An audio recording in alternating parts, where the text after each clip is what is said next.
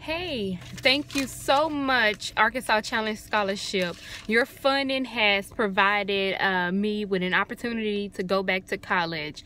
And also, as a first generation college student, I am able to put down all of my worries because you guys fund my education for me or at least some of it. And it's a big help. It allows me to focus on school and not having to worry about paying for my tuition. So it has been a great help with me achieving my goals.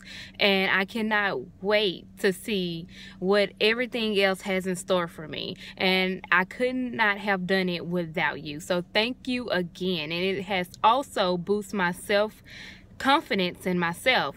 Whenever i am whenever i am at my best i feel like i can achieve more and set a trend for my future generation so again thank you so much arkansas challenge scholarship